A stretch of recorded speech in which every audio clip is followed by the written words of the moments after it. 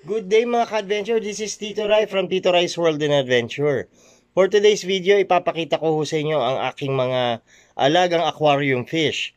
Pero bago ho tayo magsimula, intro, pasok muna!